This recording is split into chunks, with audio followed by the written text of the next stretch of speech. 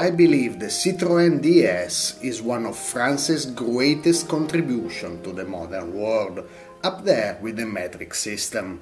The reason behind such a seemingly hyperbolic statement is simple.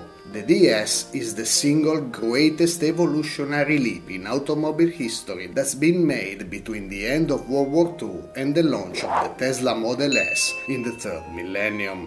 Its development lasted the best part of a decade, during which the Bureau d'études Citroën, under the direction of André Lefebvre, pretty much reinvented the automobile one subsystem at a time. The Italian artist Flaminio Bertoni, who had designed the Traction Avant 20 years earlier, drew inspiration for the DS from aquatic creatures. The DS has no imposing front grille, and the only badge it wears is at the back, yet there's no mistaking it for anything else.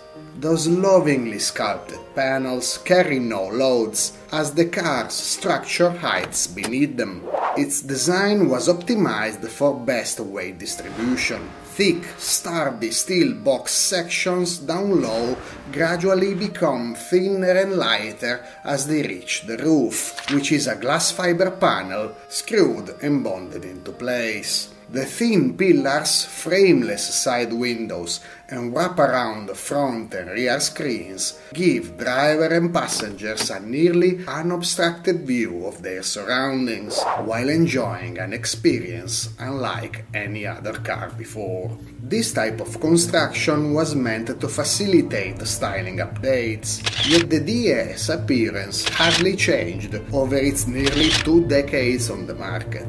The four headlights front end, introduced in 1967, could be considered the best restyling ever made in automobile history, as it brought the DS bang up to date and made it look perhaps better than ever.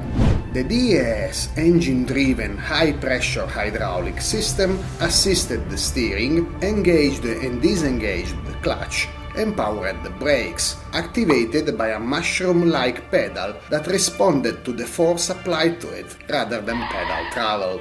But the key function of the high pressure hydraulics was, of course, the self leveling, height adjustable hydropneumatic suspension. At the heart of the system are the so called spheres, one per wheel acting as a suspension element and one as the system's main accumulator. The spheres are hollow steel balls open at the bottom, with a rubber membrane in the middle that creates two chambers. The top one is filled with nitrogen at high pressure. The bottom one is connected to the car's hydraulic circuit. The suspension works by means of a piston that forces oil into the sphere, compressing the nitrogen in the upper part of it, while the damping is achieved through a two-way valve placed at the bottom of the sphere itself.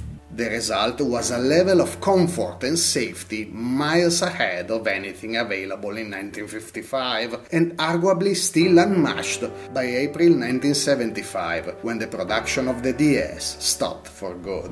Yet the DS remained a unique automobile, its influence over the wider automobile industry somewhat limited as the pursuit of beauty and engineering ideals hardly pays the bills. The DS was a labor-intensive car to build, and bringing it to market required the costly development of proprietary technology. For the whole operation to be profitable, Citroën should have built at least 500 cars per day, but that's a figure it hardly achieved, even at the model's peak in the late 1960s. Properly replacing the DS would prove impossible even for Citroën itself, which lost its independence in 1974. The last car it developed on its own, the CX, enjoyed considerable market success, but it did not represent the technological and design leap the DS had been 20 years earlier.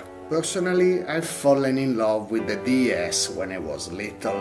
My dad owned a BX, and the local Citroën dealer had a few old DS lying around. Their shape captivated my imagination, fostering my enduring love for automobile design and engineering.